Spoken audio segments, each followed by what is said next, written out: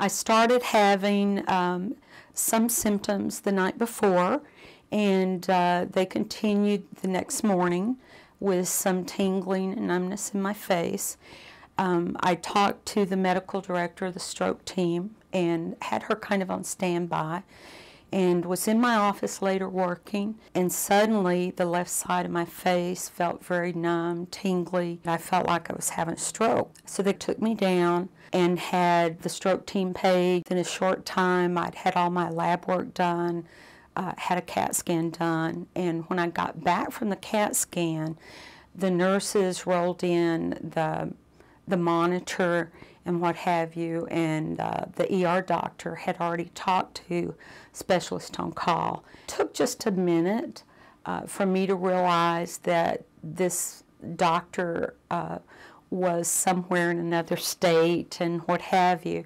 But by the time he started doing the neurological exam, then I just felt like that he was right there. He believed that uh, with the symptoms I'd had the night before, I was having light strokes, and that I was in the middle of having a, a larger stroke now, and um, that he felt like we needed to make decisions about treatment. He talked with my husband, with me, and then he um, described that to us that I did not have a hemorrhagic stroke and that I was a candidate for TPA, the clot busting drug.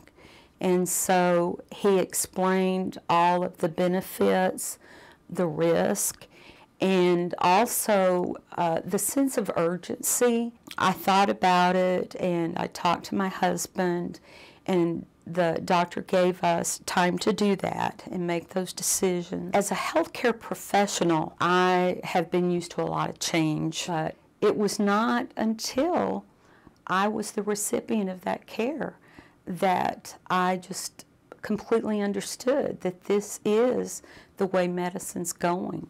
We're not going to have enough specialists in um, areas such as ours to be able to meet the needs um, of people. And so I do see uh, telemedicine as a way for the future if there had not been a neurologist available as with specialist on call, my treatment would have been delayed, um, or perhaps I might not have had the availability of TPA.